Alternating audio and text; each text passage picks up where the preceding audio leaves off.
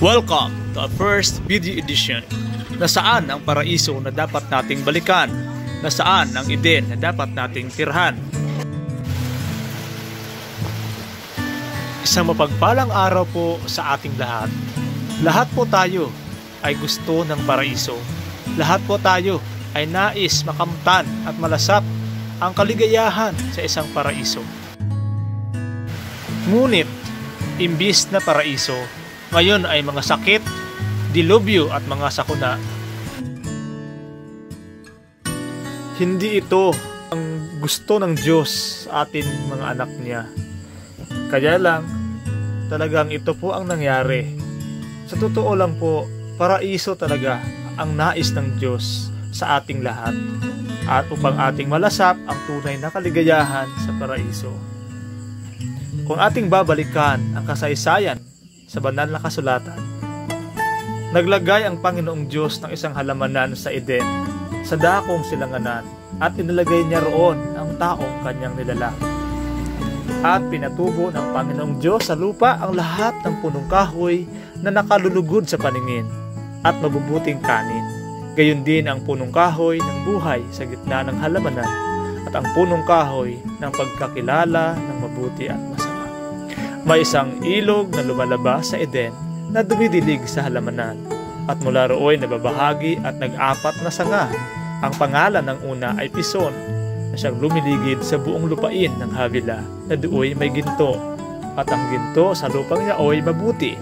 Mayroon din namang bidilyo at batong onyx. At ang pangalan ng ikalawang ilog ay Gihon na siyang lumiligid sa buong lupain ng Cush.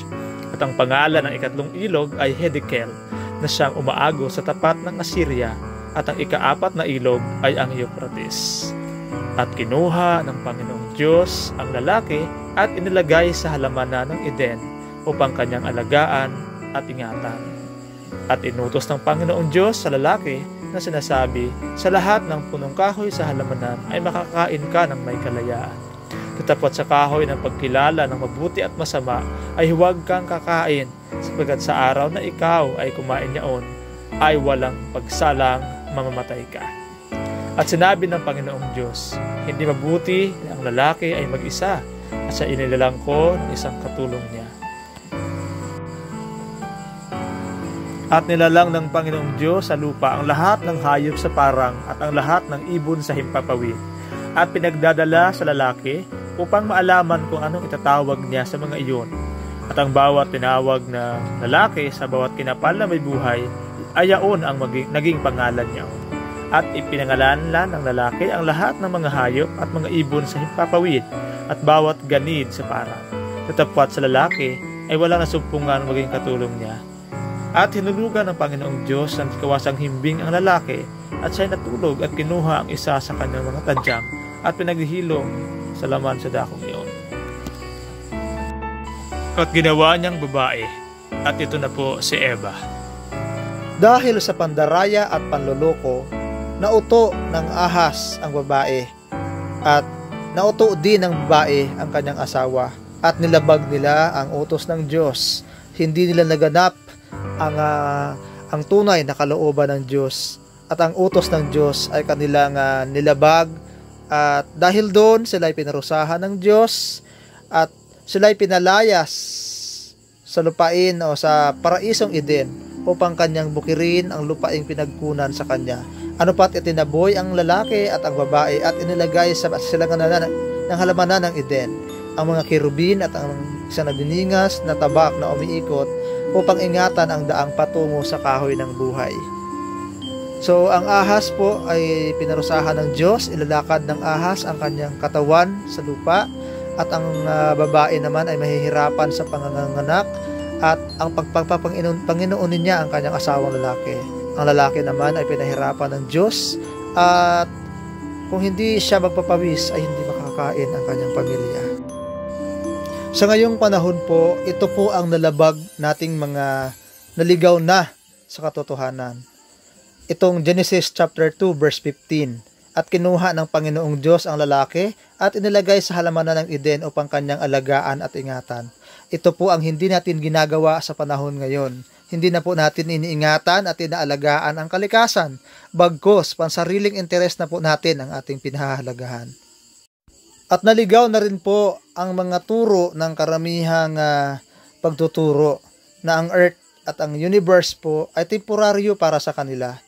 Ang uh, mahalaga sa kanila ay ang imahinasyon nilang paraiso, ang mala imahinasyon nilang uh, Eden na kung saan ay walang realidad.